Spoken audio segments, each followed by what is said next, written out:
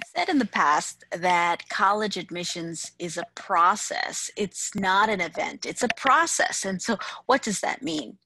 I would say that there are five stages in the college admissions journey. So, the first one is called self discovery.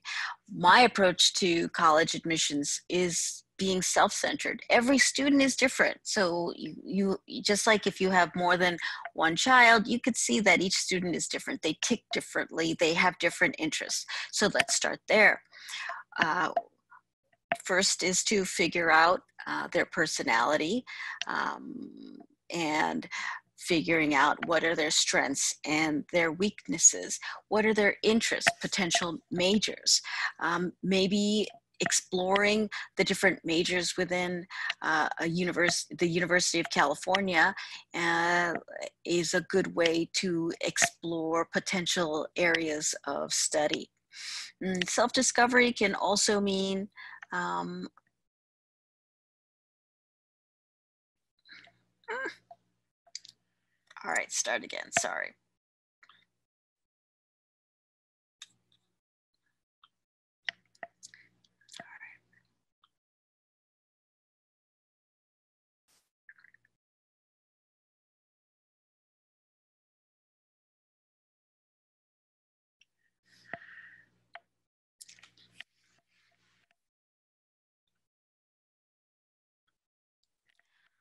I've said in the past that college admissions is a journey. It's not an event, it's a journey.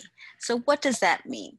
It means that there are many stages that every student is going to go through. So, let me tell you about these five steps. The first one is called self discovery. I think that with every uh, student, they have their own um, every student has their own strengths and weaknesses, their own personality, and that's where you have to start first.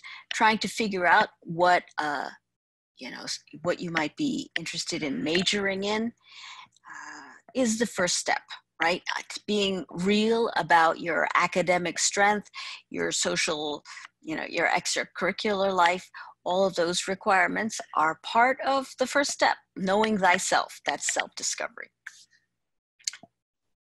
from there, the next step is college exploration. College exploration is about research, right? Because there are 4,000 schools in the United States. That's a lot. We have public schools, private schools, we have community colleges, we have state schools in California like the CSUs, the UCs, we have out of state schools, um, and then the private schools.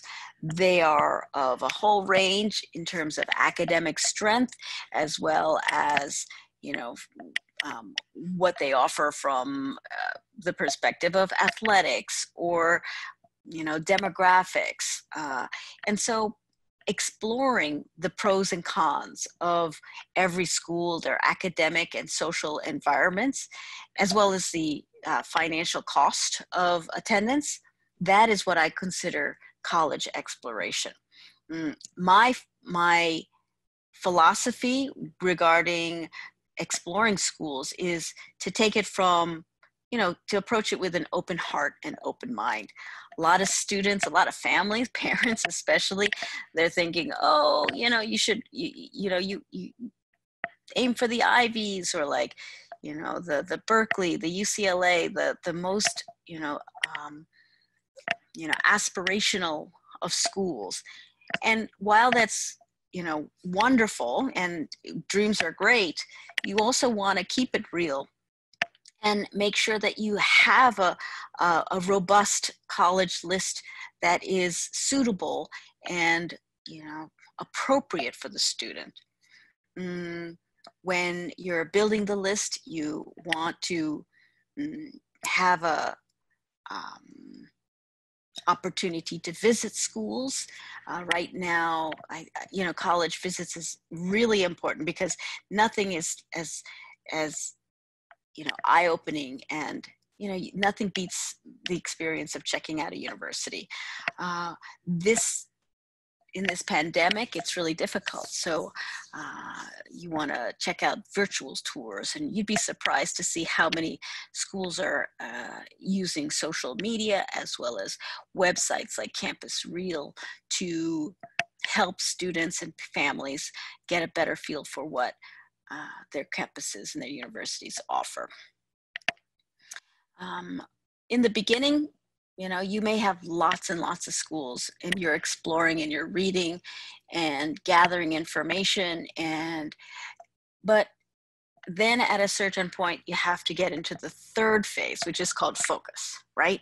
Because you want to narrow down this larger list, let's say from 40 to about mm, about a dozen maybe? It depends. It there is no magic number for the number of schools that a student should apply to. But as a baseline as a starting point i like to say the ucs the csus one tag school maybe and six. And when i say six that could be a combination of out of state schools and private schools. From there you just keep keep you know managing that list figuring out uh, you have to look at what your requirements are right? Remember we had the academic social and financial fit requirements and compare that with um, you know a, a, formula to that so that you can focus on building and tightening up your list. Your focus can also be on identifying early action or early decision schools. There's so many pros and cons to that, right?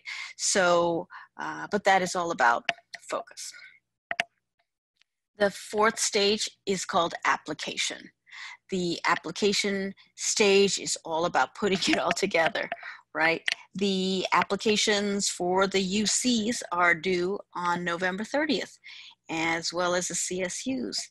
Um, the early action and early decision uh, schools may be a little bit earlier than that, and there are all the regular decisions that are after that.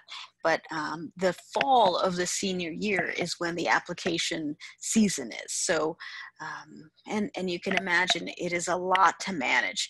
We have uh, essays at that time as well.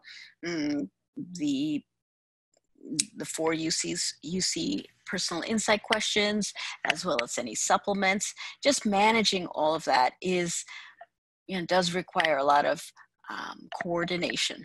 So that is something that I help students with spreadsheets so that they can keep track and, and make sure that they uh, are on top of everything. The fifth stage, often forgotten, is evaluation. What do I mean by evaluation?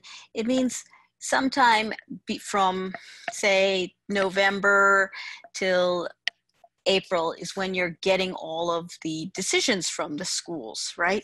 You may be getting accepted or uh, denied or waitlisted, and you will also get the financial aid results. So sometimes a student may not get admitted to any of their reach schools and they may get admitted to some of their target schools and maybe they are getting uh, financial aid from some of their likely schools.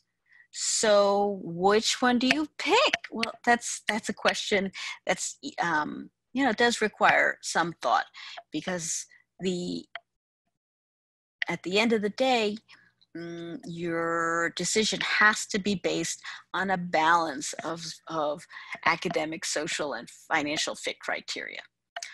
Um, so there you have it, right? Those are the five stages in the college admissions journey self discovery, college exploration, focus, application, and finally evaluation